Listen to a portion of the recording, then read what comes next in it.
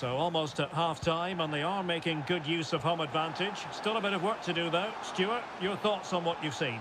Yeah, it's certainly been an open game, but on the balance of play, I think they do deserve their lead. They just have that little bit more... Can he finish? Oh, wonderful save! Well, he reacts so quickly there. That's a great save.